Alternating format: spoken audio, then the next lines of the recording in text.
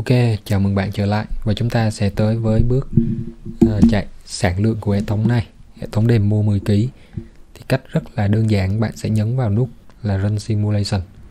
Lúc này pvsim nó bắt đầu uh, chạy quá trình tính toán sản lượng mà hệ thống này có thể sinh ra kèm theo các thông số về tổn hao này, thông số về tải, thông số B50, B90 mà bạn đã khai báo phía trước.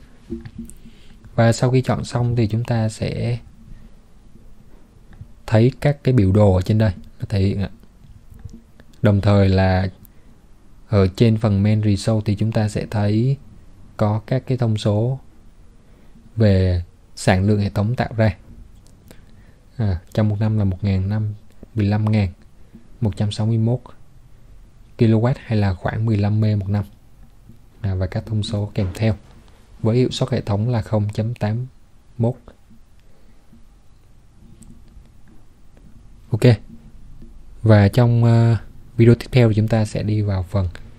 Đó là bản báo cáo cho cái hệ thống mà chúng ta vừa mô phỏng này.